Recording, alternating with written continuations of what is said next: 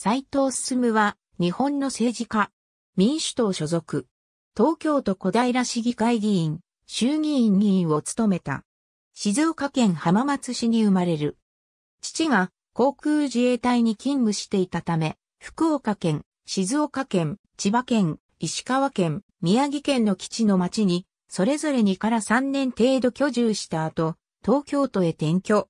東京都立清瀬高等学校、中央大学経済学部経済学科卒業。清瀬高校在学中は生徒会会長を務め、その時の初期は、秘密結社鷹の爪作者で、現アニメーション監督のフロックマンであった。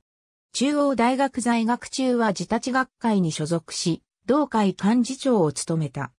大学卒業後、イスラエルのゴラン高原等、海外でボランティアに従事した。帰国後、衆議院議員、末松義則の秘書を務める。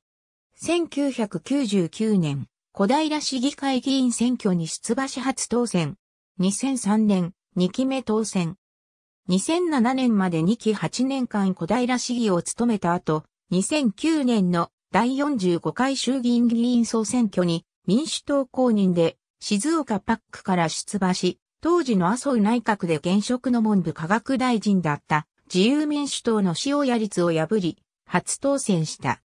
民主党への政権交代後初めてとなる第173回国会の衆議院本会議において、鳩山幸夫内閣総理大臣の所信表明演説終了時に、県政史上初となるスタンディングオベーションを起こした。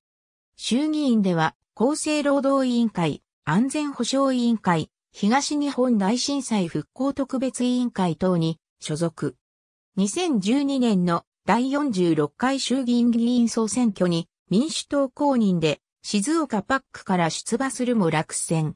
2013年4月、選挙区総支部長を退任した。ありがとうございます。